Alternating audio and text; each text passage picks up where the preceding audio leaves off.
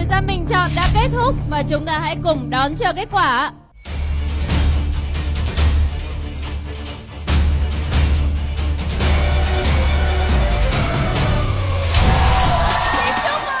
Đón xem ngày đi ngại chi vào lúc 19 giờ 30 phút, chủ nhật hàng tuần trên kênh HTV7 và trên Casa TV.